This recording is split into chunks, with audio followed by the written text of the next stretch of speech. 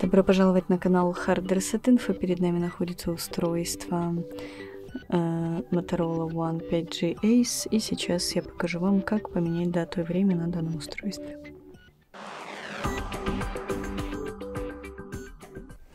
Итак, для этого мы заходим в приложение настройки и проходим в раздел системы. Далее выбираем дату и время, отключаем использовать время сети и теперь мы вручную можем выбрать дату, выбрав день, Э, месяц и год.